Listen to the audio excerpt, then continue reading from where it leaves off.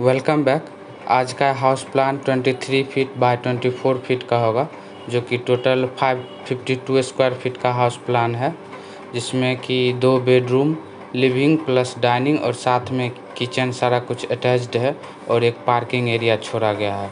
एक, ये एक आइडियल हाउस प्लान होगा, जिसमें कि हर एक चीज़ को प्रोवाइड किया गया है इस प्रॉपर छोटे से प्लॉट साइज़ में।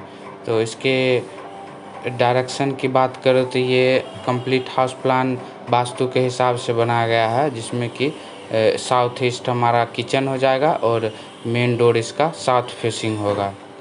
आप इसे चाहे तो मॉडिफाई भी कर सकते हैं अपने रिक्वायरमेंट और प्लॉट साइज़ के हिसाब से और विंडो आप अपने नेबर ओपनिंग स्पेस के हिसाब से रीअरेंज भी कर सकते हैं। वीडियो में इंड तक बने रहिएगा। लास्ट में हम हर एक डिटेल डिस्कस करेंगे कितना पिलर यूज़ होगा और इसकी कॉस्टिंग क्या होगी। वो हम सारा कुछ लास्ट में डिटेल्स में देखेंगे। पहले हम इसका आउटर वाल और पार्टीशन वाल ड्रॉ कर लेते हैं। और विंडो की बात करें तो आप विंडो अपने नेबर ओपनिंग स्पेस के हिसाब से अरेंज कर सकते हैं। आप इसमें सारा विंडो ईस्ट वेस्ट दिया गया है ताकि प्रॉपर सनलाइट आ सके।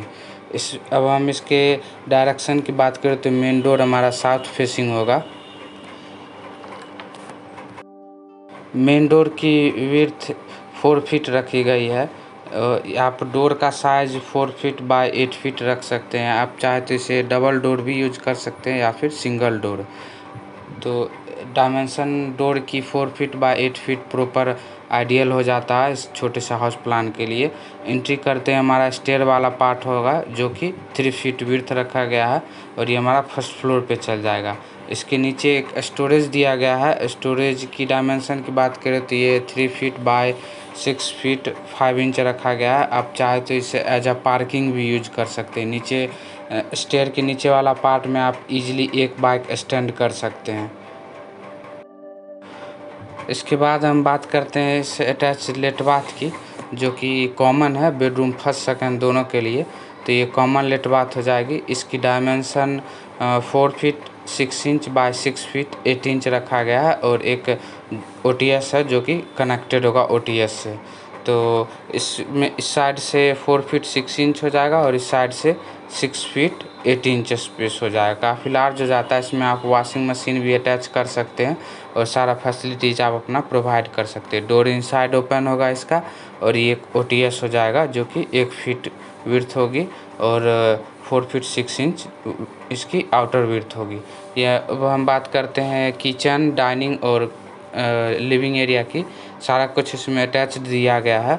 ये हमारा डाइनिंग कम ड्राइंग रूम हो जाएगा।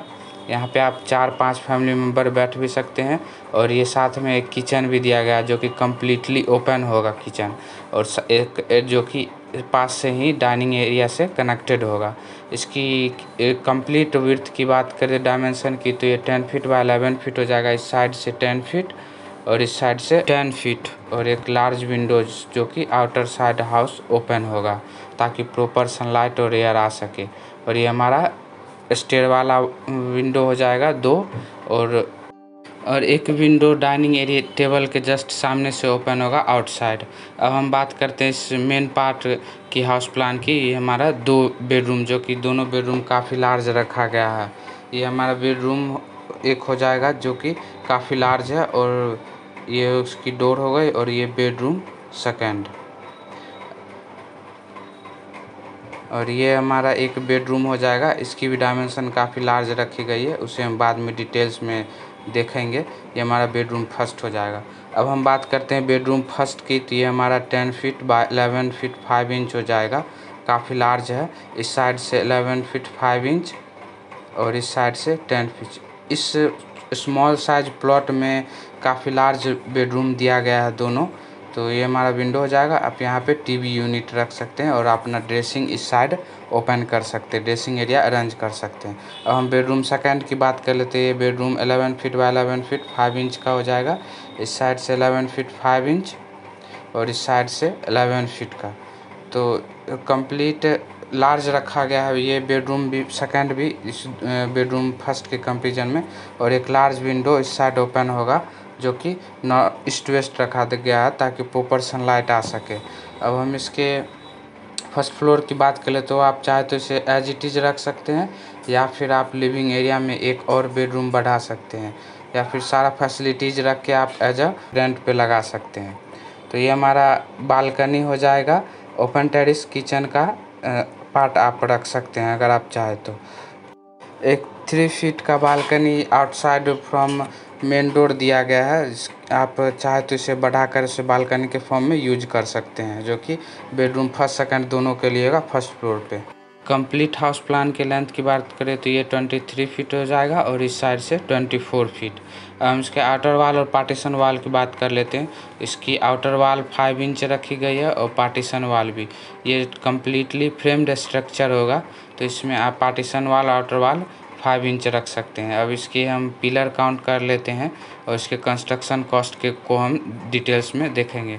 इसमें number of pillar one two three four five six seven eight nine ten eleven तो इसमें कंप्लीट हाउस में आप एलेवन पिलर रख सकते हैं।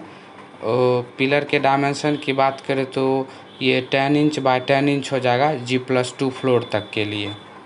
कंप्लीट हाउस के कंस्ट्रक्शन कॉस्ट की बात करें तो आपको इसमें around seven point five lakh रुपया लग जाएगा कंप्लीट कर ग्राउंड फ्लोर को करने में। और इसमें अगर इंटीरियर लुक इंक्रीज करते हैं तो इसमें थोड़ा सा कॉस्ट बढ़ जाएगा। तो आज का यह house plan twenty three by twenty four का रहा। अच्छा लगा तो लाइक करें चैनल को सब्सक्राइब करना ना बोले वीडियो देखने के लिए धन्यवाद।